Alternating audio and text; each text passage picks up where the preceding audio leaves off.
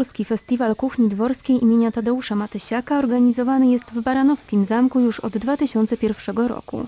Na tę prestiżową imprezę tuż przed świętami Wielkiej Nocy corocznie zjeżdżają reprezentanci branży gastronomicznej oraz mistrzowie, którzy o kuchni polskiej i światowej wiedzą wszystko. To jest chyba jeden z lepszych festiwali, w ogóle konkursów, tak?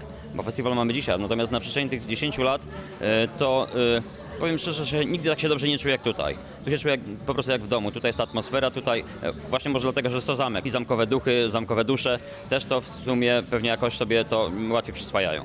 Konkurs Raz, że mm, fajnie zorganizowany, fajnie prowadzony, e, nigdy nie, nie zabrakło tutaj wsparcia, czy to organizatorów, czy gospodarzy. Tu zawsze była ta ciepła, rodzinna atmosfera i właśnie do tego, tego miejsca się zawsze miło, fajnie wraca.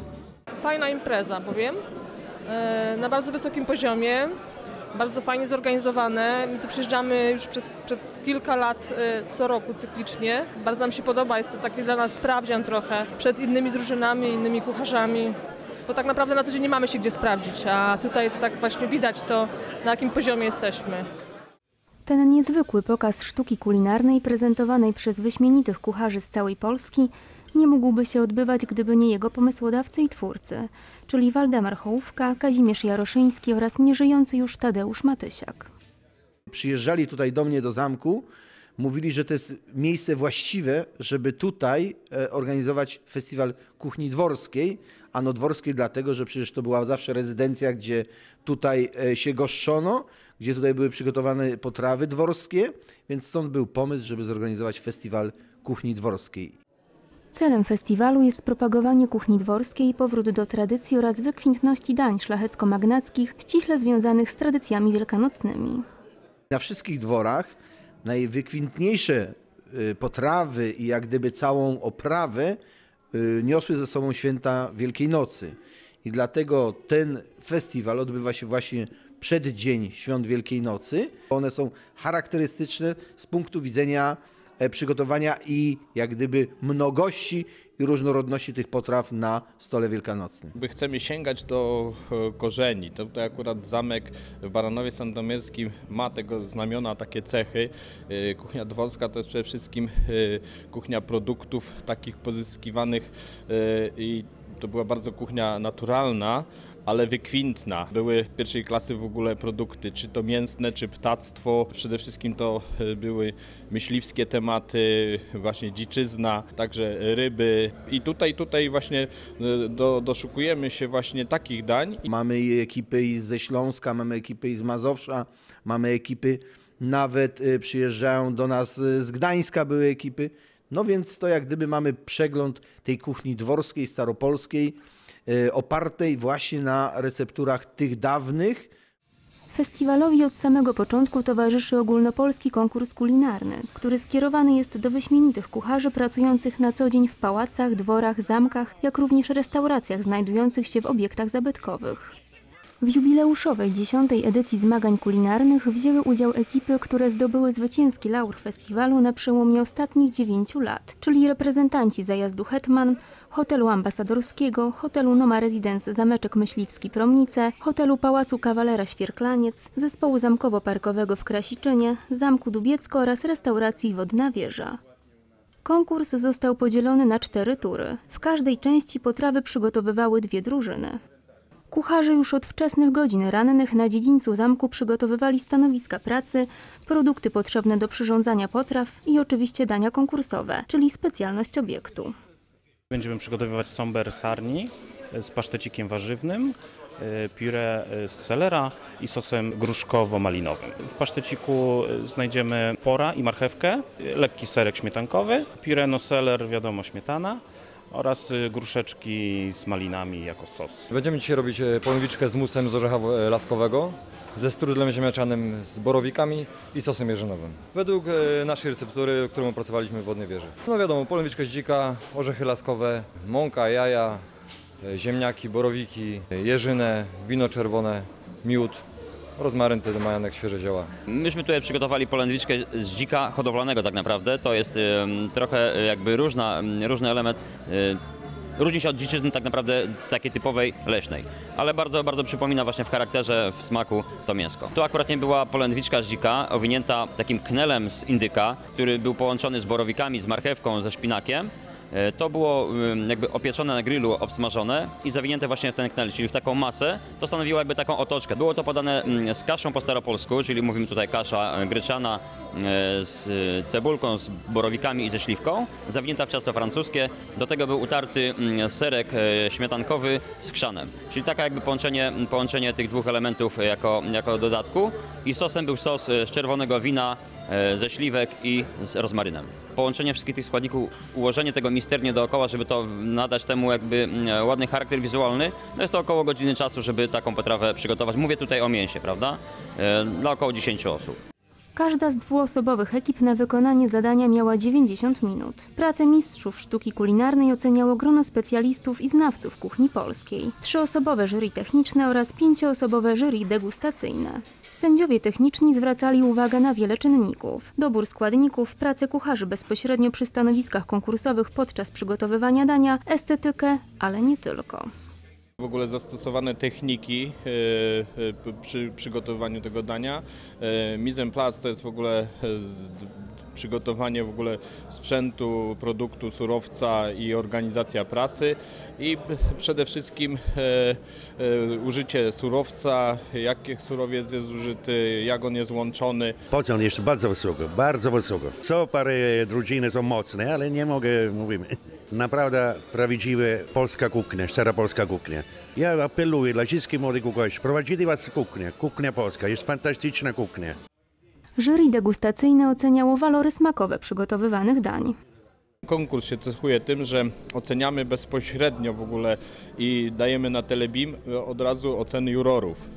Danie wykonane, ocenione i oceny są już y, umieszczane na Telebimie. Także jest to bardzo jasny, klarowny, przejrzysty y, konkurs. Kolejnym punktem festiwalu był konkurs na najlepszy stół wielkanocny. Każda z drużyn miała za zadanie zaprezentować przygotowane przez siebie dania na zaaranżowanym według dowolnego pomysłu bufecie, nawiązując do tradycji kuchni dworskiej z wykorzystaniem starych receptur. Pięknie udekorowane stoły uginały się pod ilością tradycyjnych specjałów kulinarnych, takich jak wielkanocne baby, mazurki czy wędliny własnej roboty. Specjalnie na dzisiejszy dzień przygotowaliśmy jajka faszerowane musem rakowym, ym, kaczkę wędzoną, jagnięcinę pieczoną z bryndzą, roladę świętego Huberta z szynki z dzika. Tu natomiast mamy bażanta z kasztanami jadalnymi oraz roladę chrzanową. Tutaj znajduje się pasztet w cieście francuskim z podgrzybkami marynowanymi oraz opienkami. Następnie udziec e, wieprzowy podwędzany i na samym końcu żurek e, na maślance z białą kiełbasą swojską. Polecamy wyroby nasze mięsne, e, pieczony boczek, pasztety, pieczone mięsa, e, gęś faszerowana kaszą gryczaną, żurek, nalewka sporządzona na karmelizowanym cukrze i miodzie. Plecione strucze są nasze, naszej y, roboty. Mamy barszcz wędzonkowy, mamy gulasz podrobowy. W tamtym roku mieliśmy gulasz tylko z żołądków i żurek, mięsiwa, jajka, wszystko co się kojarzy też z szanem kopanym, mazurki, nalewki i w tym roku mamy nowość, mamy kwasy chlebowe na stole o, o różnych odcieniach smakowych. Sos z pokrzywy do mięsa, sos żurawiny z chrzanem i śmietaną. Poza tym jest taka sałatka, y, to jest zasięgnięte z dawnej dworskiej kuchni, y, tylko troszeczkę przez nas podrasowana na nowoczesność. To jest sałata z kapusty kiszonej z dodatkiem ananasa, brzoskwini, pomarańczy, rodzynek, chrzanu i serat, który jest tylko pokruszony do środka. Do tego idzie oczywiście oliwa z oliwek, pieprz młotkowany, no i do smaku jakąś, jakimś kwasem podciągnięty. Najlepiej jest sok z pomarańczy albo z cytryny. To jest wszystko na zasadzie doświadczeń robione. Także mamy nalewkę wiśniową z posmakiem malinowym, malinową. Mamy portera swojej roboty siedmioletniego. Mamy nalewkę cytrusową. Mamy nalewkę porto. To, co prezentujemy, jest to nasz wyrób tylko i wyłącznie e, wszelkiego rodzaju wędliny typu szynki, balerony, e, schab, polędwica. Jest to wyrabiane przez nas własnoręcznie. E, Mamy swoją wędzarkę na obiekcie, gdzie sami marynujemy mięso, petlujemy, sznurujemy, a następnie wędzimy. Wszelkiego rodzaju pasztety z borowikami, e, z grzybami, z jajkiem. Jest to też nasz wyrób. Pasztety są z przewagą dziczyzny, ponieważ u nas w obiekcie jest dość sporo właśnie tego mięsa, także wyrabiamy później z tego pasztety. Bez słodkości stół wielkanocny nie ma tego swojego uroku, czyli babki, mazurki, jajka. Nie ukrywam, że też robimy nalewki typu żerawinówkę, malinówkę, porterówkę. To są e, bażanty, przepiórki, e, jest udziec sarny. Na stole prezentujemy głównie e, nasze własne wyroby, wędliny i sałatki, jajka faszerowane, teriny, pasztety z dziczyzny również, rolady, też własnego wyrobu wszystko. Wygląd stołów wielkanocnych, pomysłowość, smak oraz sposób podania potraw zgodnie z regulaminem oceniało jury smakoszy. Wśród jurorów znalazła się m.in. Hanna Szymanderska, autorka popularnych książek kucharskich. Dużo rzeczy jest dobrych. Dobre są kiełbasy, dobre są szynki. Tu są bardzo dobre y, zjelenia. Chyba spełniają wszystkie kryteria, które są potrzebne na wielkanocnym stole. Wyniki obu konkursów zostały ogłoszone podczas uroczystej gali, w której wzięli udział specjalnie zaproszeni goście. Pierwsze miejsce w konkursie gastronomicznym zajęła ekipa reprezentująca Zamek Dubiecko. Zwycięzcy z rąk dyrektora zespołu zamkowo-parkowego w Baranowie Sandomierskim odebrali statuetkę, czek o wartości 10 tysięcy złotych oraz nagrody rzeczowe od sponsorów. Byłem praktycznie na każdym e, z festiwali kuchni dworskiej. E, Było to różnie, jeśli chodzi o miejsca. Trzykrotnie zdobyłem tutaj właśnie tę złotą statuetkę, dwukrotnie mm, srebrną i raz brązową, także tych wyróżnień było kilka. A to, że akurat nie dzisiaj się udało, to dla mnie jest to właśnie ta, mm, ta e, satysfakcja, to wyróżnienie, że no, zwieńczyłem to no, właśnie tego typu mm, wyróżnieniem. Drugie miejsce i czek o wartości 6 tysięcy złotych otrzymali Dorota Pajęcka i Mariusz Nazimek z hotelu ambasadorskiego w Rzeszowie. Ekipa ta otrzymała również nominację do kulinarnego Pucharu Polski 2011, który odbywać się będzie podczas trwania międzynarodowych targów poznańskich. Szczerze mówiąc, nie spodziewaliśmy się, że zajmiemy drugie miejsce, bo e, w tym roku była bardzo duża konkurencja i bardzo wysoki poziom, bo to była dziesiąta edycja i były e, same drużyny, które kiedyś już wcześniej, kilka lat temu wygrali. Więc e, poziom jest bardzo wysoki. Dla nas to jest sukcesem. Jest takim sprawdzianem, co potrafimy zrobić, a co powinniśmy jeszcze się, czego powinniśmy się jeszcze nauczyć, podszkolić, na jakim poziomie jest nasza restauracja i nasze gotowanie. Na trzecim miejscu uplasowali się przedstawiciele hotelu Noma Residence Zameczek Myśliwski Promnice. Najlepszy stół wielkanocny przygotowała natomiast ekipa z zajazdu Hetman. Od iluś lat gościmy tutaj w Baranowie Sandomierskim. Wcześniej stoły wygrywaliśmy też, wygrywaliśmy w konkursie indywidualnym. Natomiast na to dziesięciolecie, na jubileuszowy ten konkurs jest to dla nas naprawdę bardzo wielkie wyróżnienie, gdzie cała ekipa tutaj e, e, zajazdu Hetman włożyła wszelkie starania, aby wszystko dobrze poszło. Tak też się stało. Podczas wieczornej gali wyłoniono również pierwszego honorowego króla festiwalu kuchni dworskiej. Został nim Janusz Pyra z Zamku Dubiecko. Kuchni dworskiej jest pan Janusz Pyra i oczywiście atrybut czyli berło. Prosimy o zdjęcia.